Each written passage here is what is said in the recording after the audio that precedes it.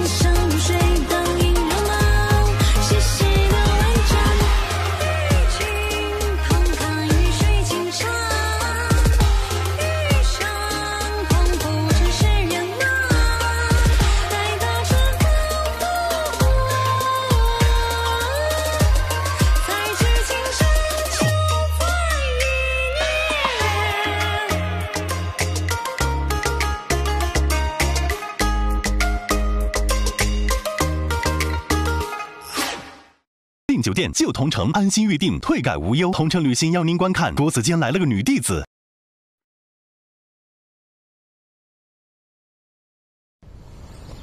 阿琴，我一直说想娶你，但有一句最重要的话没告诉你。周文远你，先听我说完。而是我流落边塞，只有你平等待我。分别后，你我书信来往。对于独在边境的我来说，你是我唯一的朋友。见到你的那一刻，我便下定了决心。鱼，其实我一直喜欢你。周文远，我突然觉得，我好像这些不是说给你的，反倒像是说给我自己。我知道，其实我心里清楚，你和叶云之，你们两情相悦，只不过，不过我喜欢你，是我自己的事。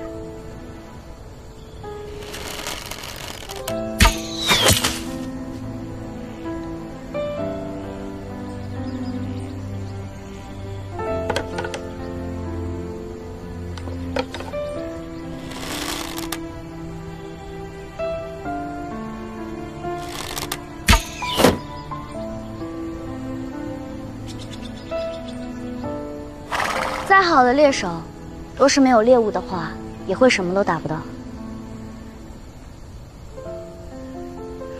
而且我们已经长大了，这把儿时的弓虽然再好，也不适合现在的我了。那，还你。就。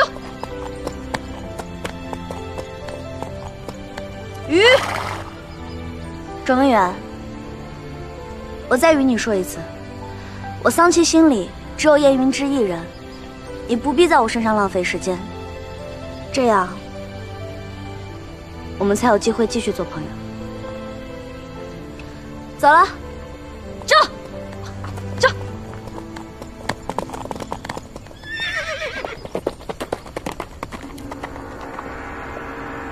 若不是顾忌，而是情分，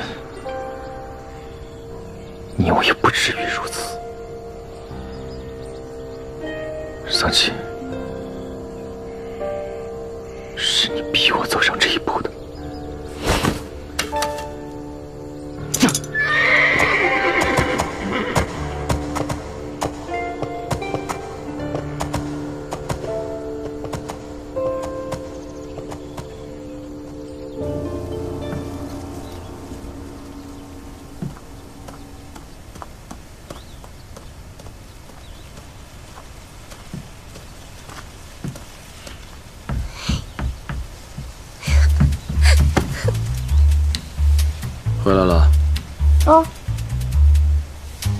周文远出去的，你怎么知道？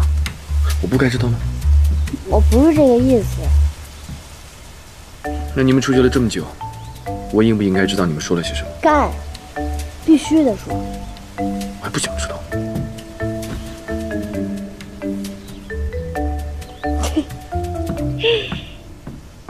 你还笑？有什么好笑的？我很严肃。哦。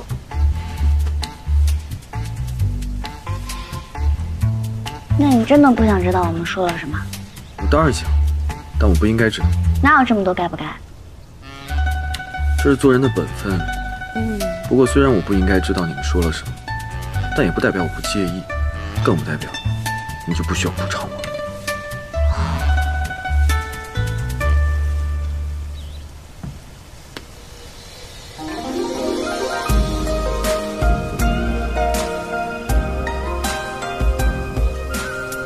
生气吗？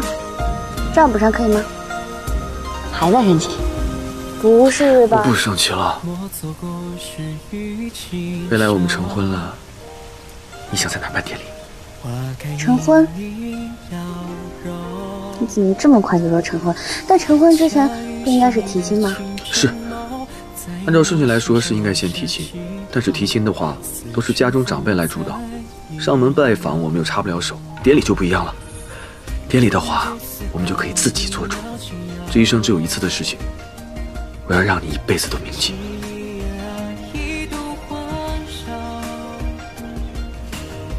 就在国子监吧。国子监是我们相识相交的地方，对宇兄来说也意义重大。好，就在国子监。不过，我还想回边塞办一套回门宴。好，听你的。那未来我们的孩子叫什么呢？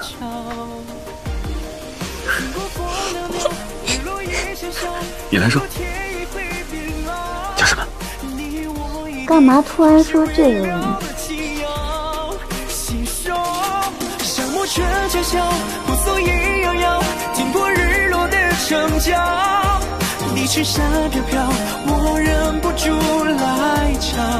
云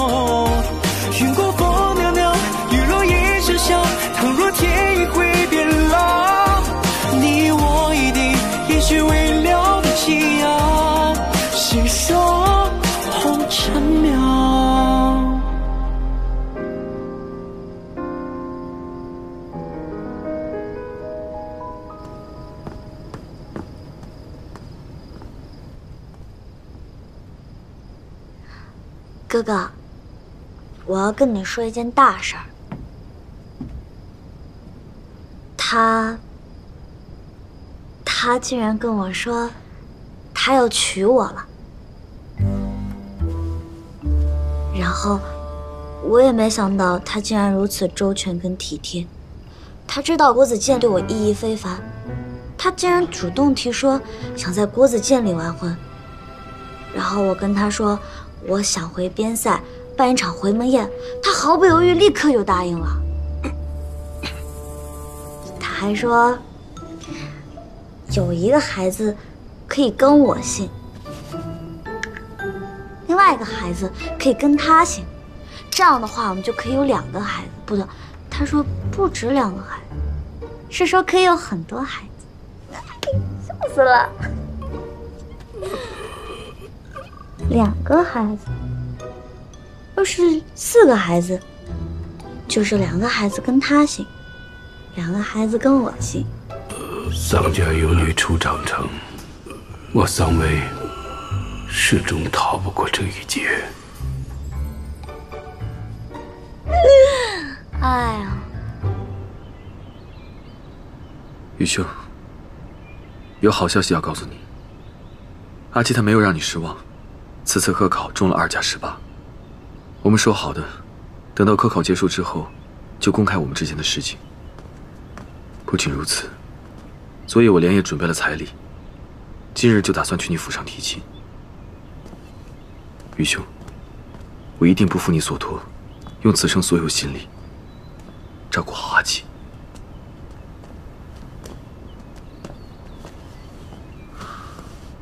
好小子，你跟我们桑家的缘分不浅。啊，桑太尉，早就听说你跟雨儿关系不错，难得你这么多年还一直来看她，能成为雨兄的挚友，是我此生最大的欣慰。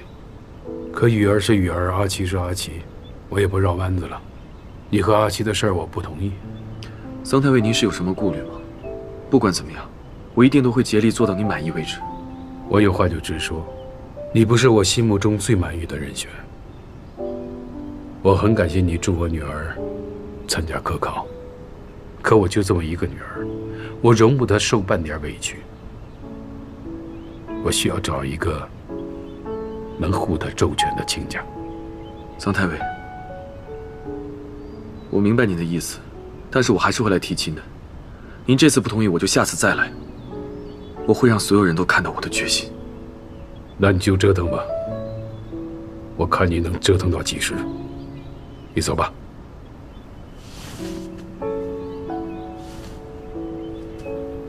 雨兄，我先走了。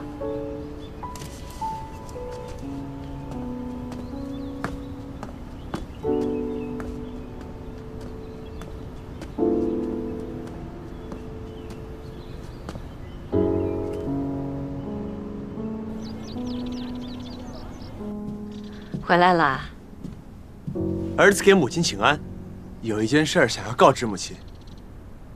总不会是又在外面给我惹了什么麻烦吧？嗯。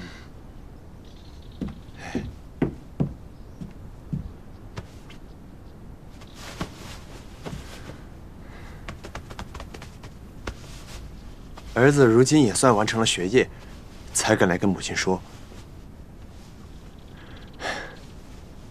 我已有了心上人，还望母亲成全，让我去他府上提亲。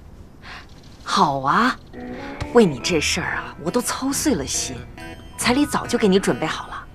是哪家的姑娘？桑家。桑太尉。啊。嗯，我有所耳闻，可是我没想到你会娶她。母亲都已经知道了，我还担心。我知道你担心什么。桑家出来的人呢，是有点奔放，外面的人说三道四的。你是不是担心我不同意，棒打鸳鸯啊？我倒不在乎外面的人怎么说，我已经喜欢他很久了。他这个人活泼开朗、细腻体贴，而且很有自己的主意和想法，不是普通家的姑娘。嗯，我知道了。听你这么说甚好。听说他是在边外长大的，身子骨不差。那咱们严家的香火啊，一定会很旺。只不过他确实把桑家上下都操持得很好，做饭也好好吃。哟，还是个贤惠的人啊，怪不得桑太尉这么看重。太尉也是很照顾他。他应该也是到了婚嫁的年龄了。可桑太尉这么看重的人，你可有把握？儿子还没有因为这件事正式见过太尉呢。无妨，等娘给你出面，就没有说不成的亲。事不宜迟，先到先得。今儿就是个好日子，我们现在就去。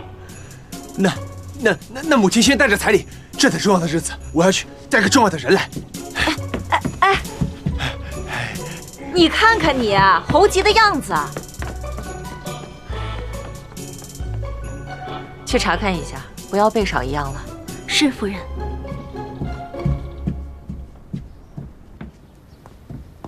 翩翩，翩翩，人呢？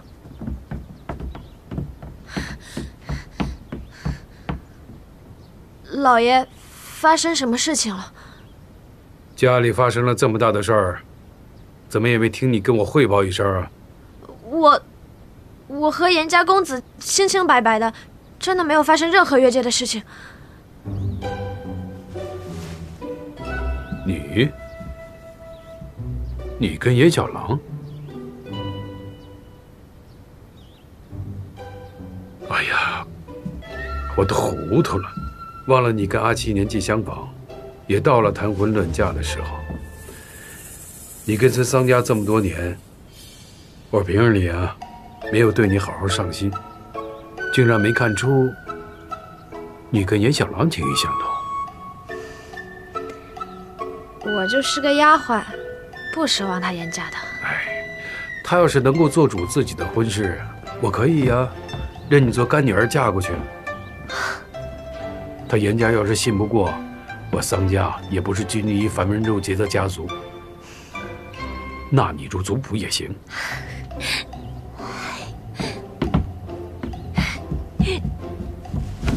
爹爹，你可是整个汴京城最好的爹爹，不，你是世界上最好的爹爹。哪天叫声姐姐听听。小姐，你姐，哎，来，怎么了这是？我没事儿。阿福，把府上所有的门都关好了，任何人不准进来。哎，爹爹，为何要将府上的门都关好？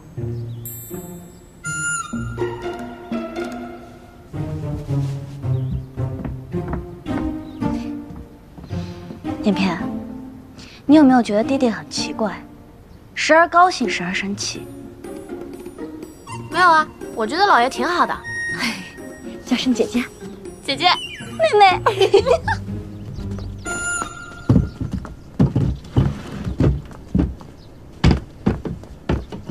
四爷，四爷，走，快随我去太尉府。太尉府，何事？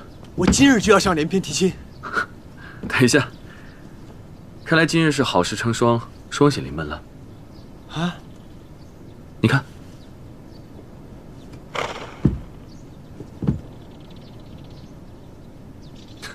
走吧，上车吧。你，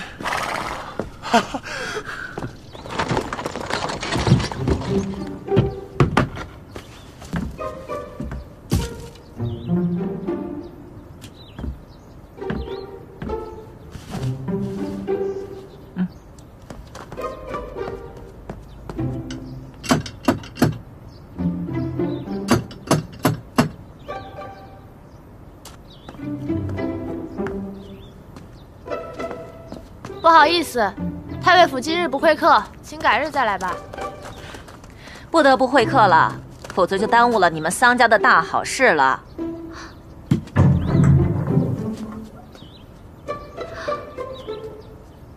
我严家可不喜欢被人拒之门外啊！严夫人，是我失礼了，请您快进，我去知会我家老爷一夫人请。哼，这小丫头还挺有眼力劲儿的。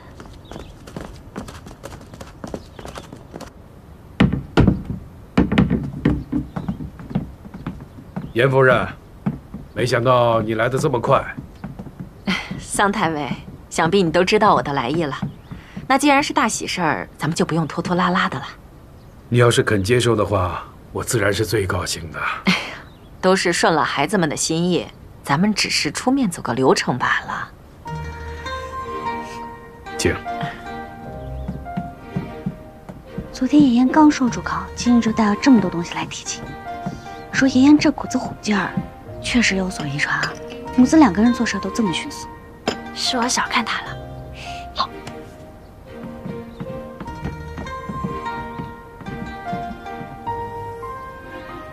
之前没仔细看，如今一瞧，还真是个可人啊！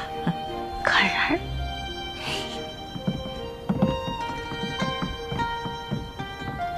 太尉，桑太尉，母亲，严夫人，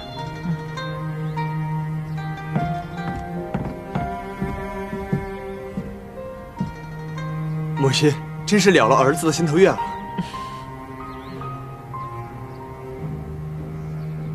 好了，人到齐了，那我就不慢慢悠悠拖时间了。桑太尉，啊，桑琪，啊，以后啊，你就是我们严家的媳妇儿了。什么？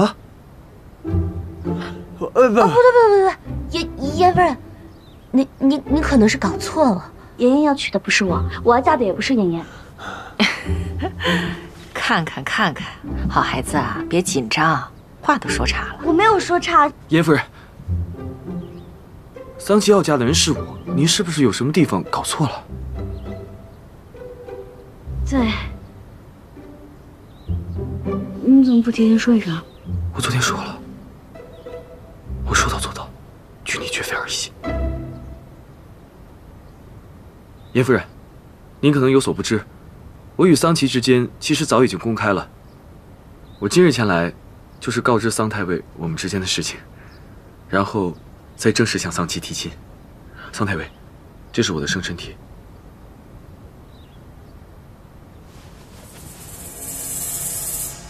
再等等，燕四爷，这讲究个先到先得。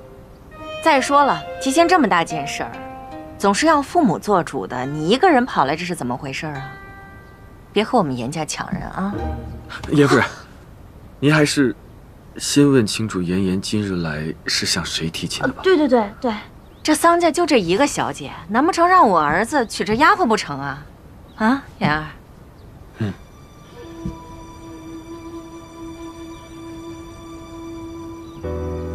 荒唐！你父亲是堂堂太师，你竟然要娶个丫鬟！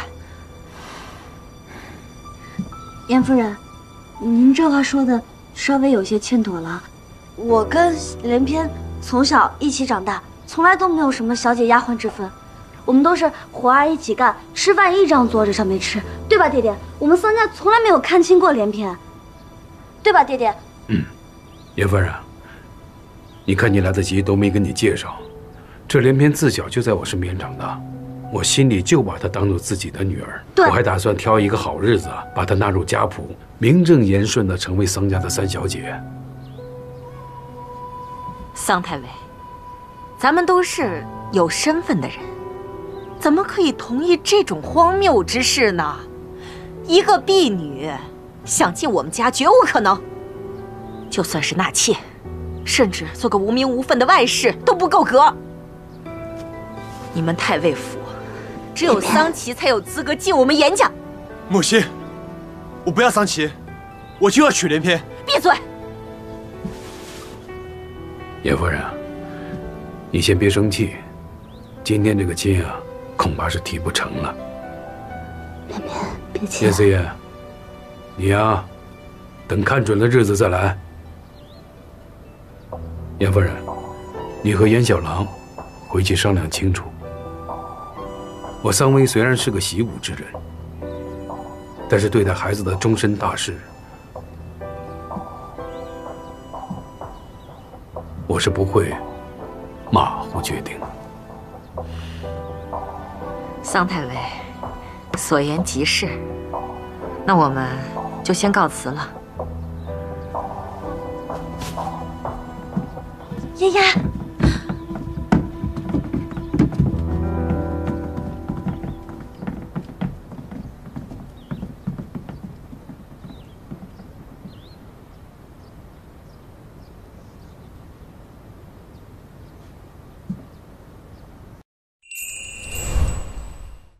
加倍艾特给宝宝更好的营养。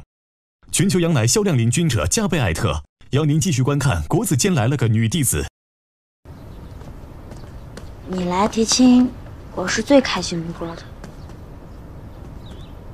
不过我也没想到事情会变成现在这样。唉，这一天天的，情绪真的是跌宕起伏。妍妍值不值得连篇托付，就看她接下来自己的行动了。今日被严夫人这么一闹，没能提成亲，你会不会失望？会不会有些着急呢？我啊，我才没有着急呢。你燕云芝都拿着生辰帖来来我家提亲了，你还能跑了？对，你爹也说了，让我找准日子再来，我不会让你久等的。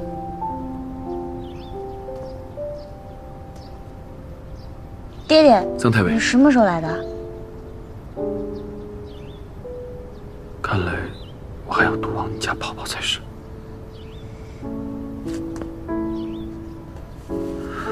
桑太尉，那我先告退了。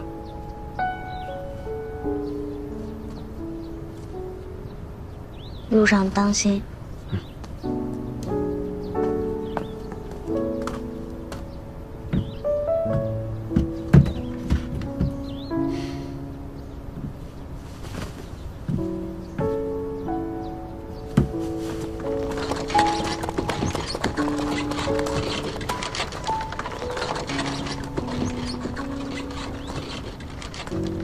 爹爹，你是不是有什么想对我说的？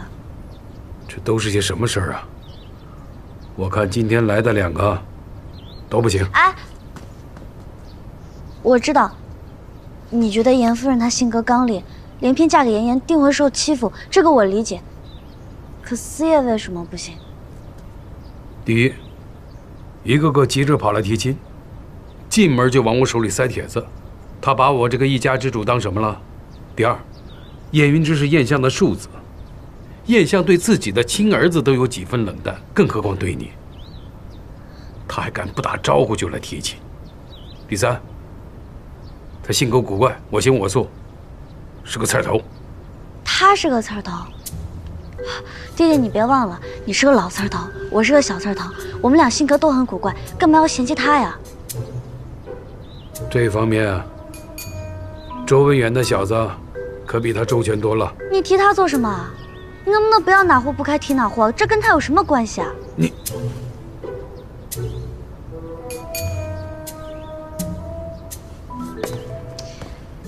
爹爹。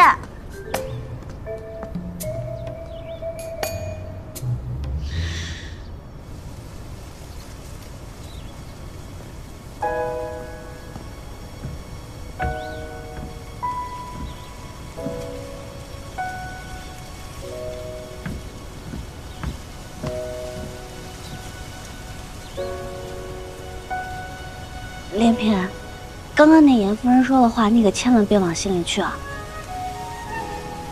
小姐，你别担心，我心里早有预设的，这个场面比我预想中还轻得多呢。严夫人她今天确实也是有点吓到我，不过林片你放心，我跟爹爹都是支持你的，要认你做妹妹。要纳你进桑家族，都不是为了应付严家，是因为我桑琪早就把你当成自己的亲妹妹。我知道你的心意，只不过一时半会儿让我改口不叫你小姐，还真是有些别扭。对了，你也得给燕四爷出出招，老爷那个脾气，也不是好搞定的主。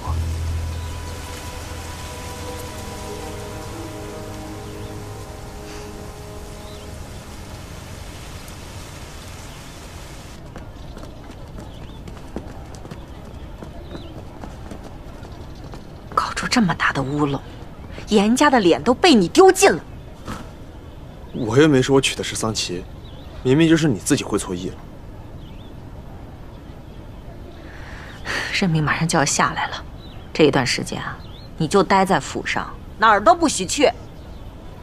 母亲，我会尽快物色人选，完成你的婚事。那些外边的野花，你想都不要想。连篇才不是什么野花，她也是正经人家的女儿。反正她就是个丫鬟，在严府她什么都算不上。我偏要出去。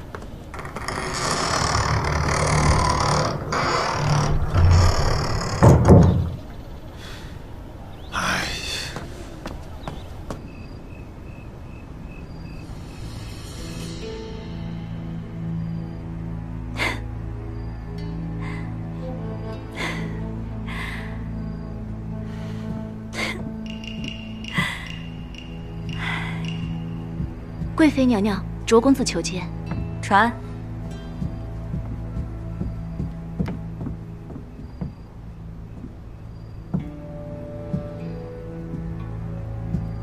姑姑今天心情甚好，是有什么好事吗？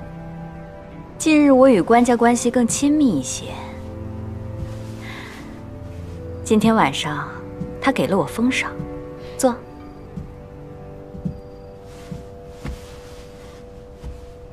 如今我们卓家形势一片大好，你对桑家那位也得抓紧点儿。桑琪和燕云芝的关系在国子监公开明朗，人尽皆知，我去争取，有什么意思？那又如何？不必在意这些细枝末节。没有父母之命、媒妁之言，他们的关系就不是铁打的。你这么聪明，使一点手段拆了便是。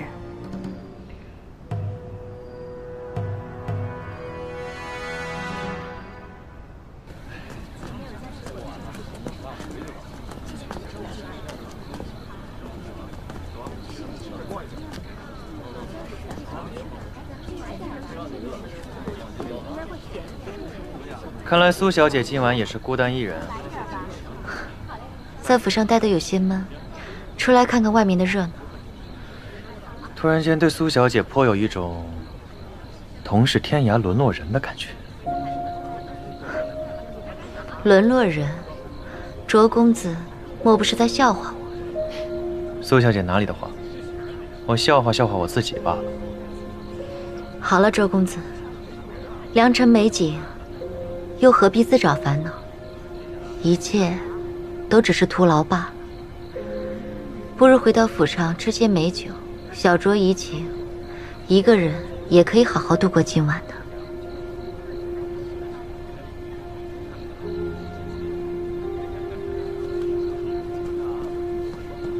一个人喝多没意思。相见就是缘分，苏小姐，既然都已经到了庆丰楼楼下，不如一同进去坐坐，闲聊两句。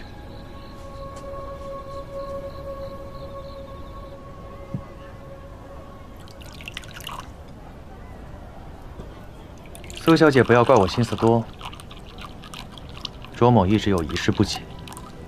对我，卓公子说说。燕云之对你一直不冷不热，如今又和桑琪公开认亲，为何苏小姐还一直对他念念不忘？那是因为卓公子只见到了云芝的片面。那你倒是说说看。我记得八岁那年，有一次，兄长陪着我在花园中玩捉迷藏。我蒙着眼睛，找啊找啊，找了很久。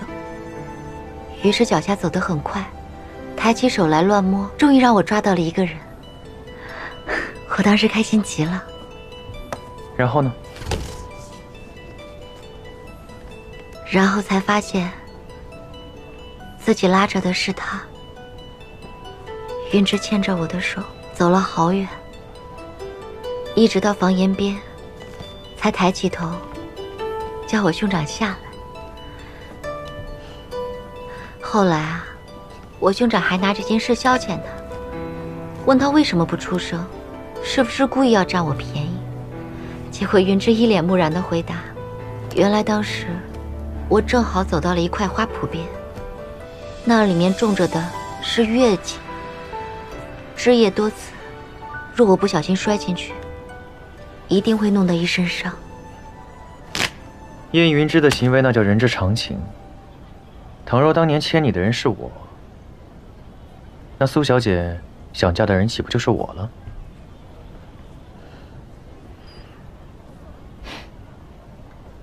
苏小姐，其实你心里早就明白了，燕云之对你没有情。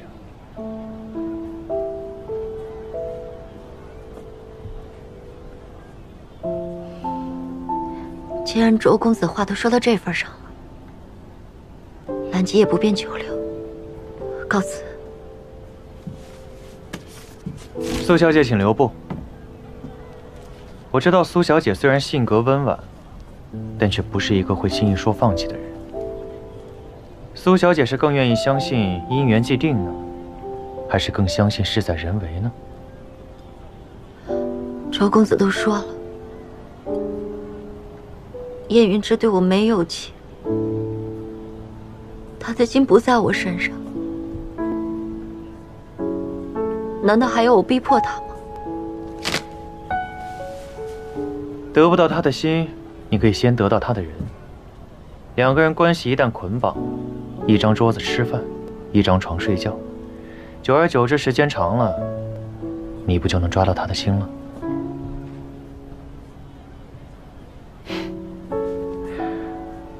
苏小姐，我想留住桑琪，但不知你是不是也想留住燕雨之？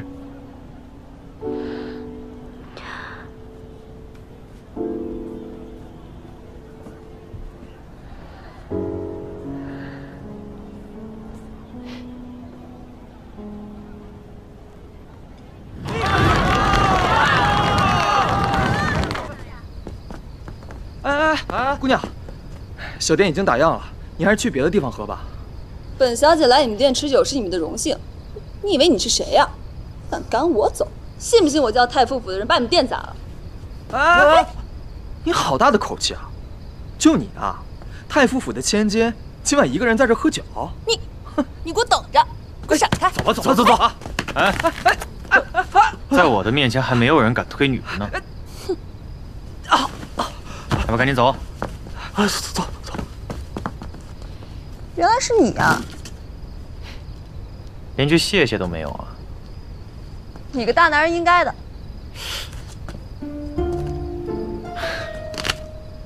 宋小姐，今晚打扮的这么华丽，看来是去鹊桥上走了一遭吧？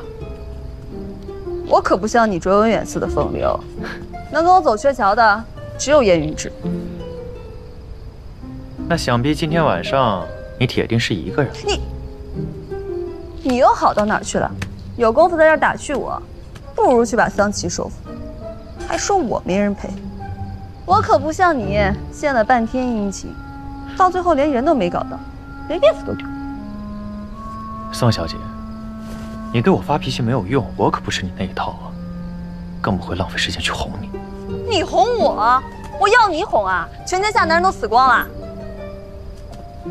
锦梦，在，麻烦把宋小姐送回府里。毕竟夜黑风高一个人。是。卓远，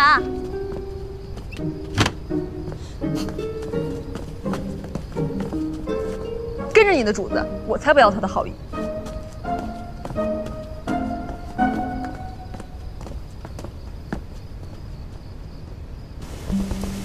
压好，老实点。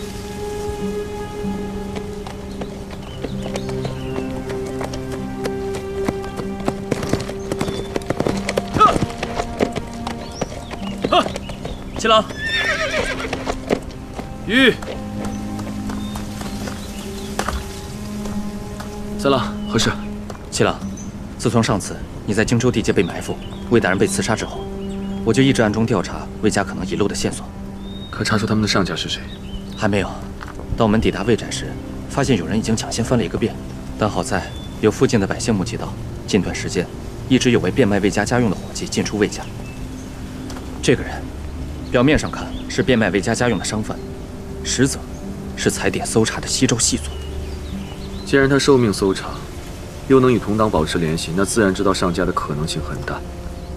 如此一来，追查朝中是谁主操和联系西周就有望了。没错，这里啊就是他们的据点。我想此事事关宇兄，你一定想一起调查，所以我才急于通知你前来帮忙。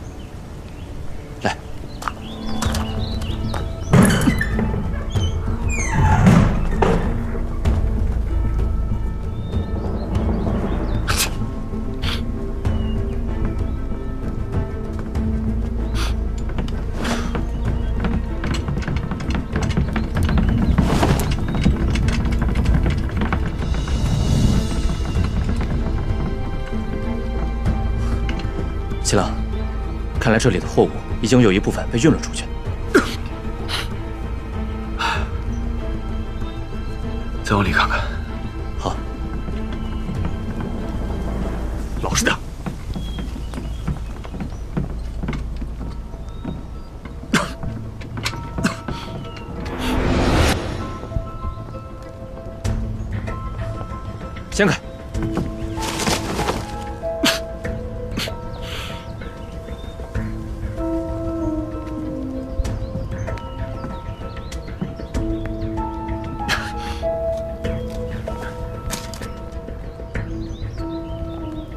蛛应该就是西昭的蜘蛛，在冰之城内从未见过。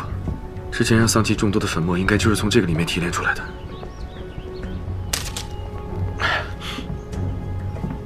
说，是谁让你把这些蜘蛛运来的？这、这、这些不是我运来的啊！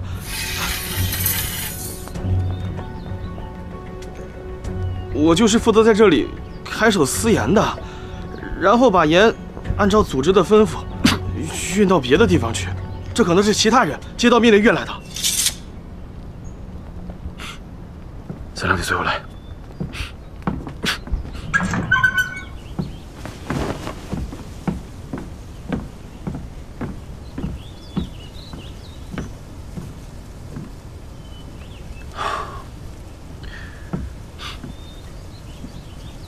我推测边境这边通过运贩私盐到西昭组织手里。以物换物，再将西昭的这种毒植物运回边境，上家跟西昭一起收利，而这里应该是他们获取不义之财的一个据点。而且，他们人手里有通行证，往来城乡一路畅通。看来这暗中保驾护航的人，在背后一定花费了极大心力策划了这条路线。这是一位家实力远不能达到的。你不觉得这个味道很奇怪吗？听你这么一说，这里边是挺香的。香？对啊，这和普通姑娘家身上的香粉味儿没什么区别啊。这哪是姑娘家用的香粉啊？我一进来就觉得鼻子特别难受。哎呀，七郎，你情况不太好，你的鼻子都被你揉红了，你要不赶快回去休息吧。那这儿啊，这里交给我，这本来就是京兆府分内之事，我啊立刻命人封锁狼屋，尽快取证。那就有劳了。职责所在。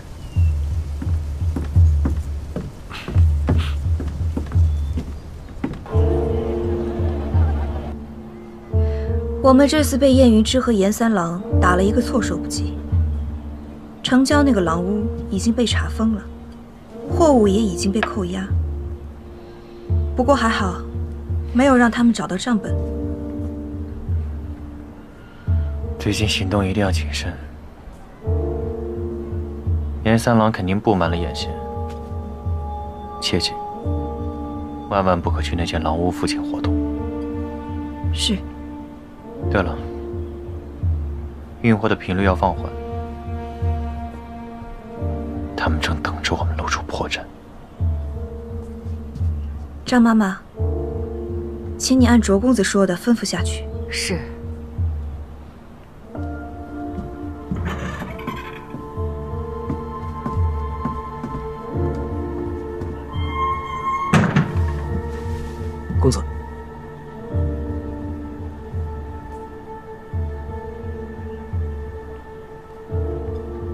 有什么消息？但说无妨。燕云之去太尉府提亲了，但桑太尉并没有同意。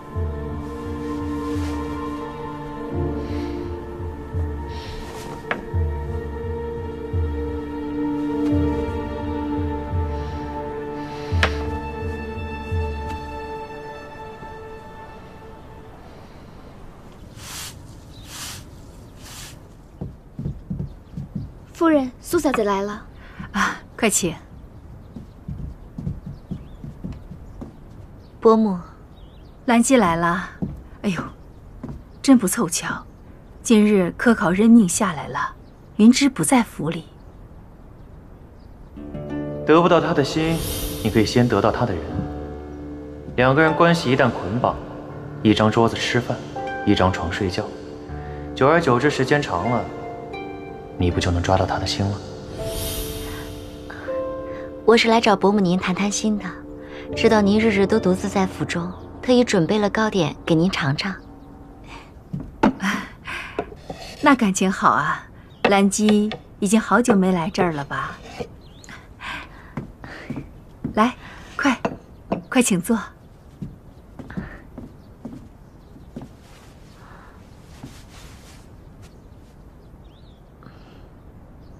我知道，以我的身份，往来府上不太合适。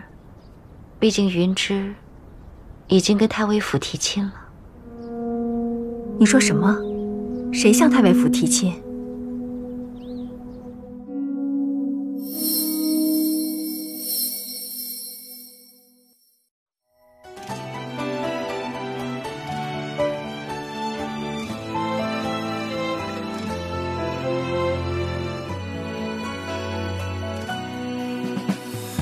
待宿命开始执念那一瞬，愿用这辈子换瞬时相知，有千种心事留下我的位置。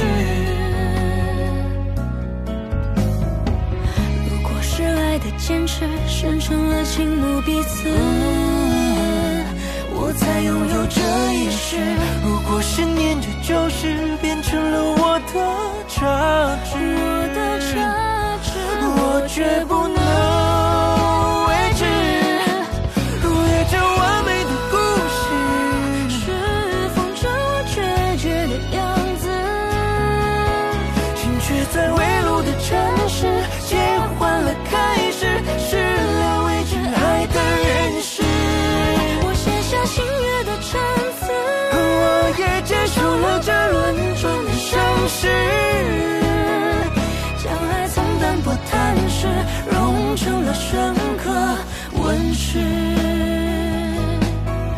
将爱从淡薄、坦实，融成了深刻。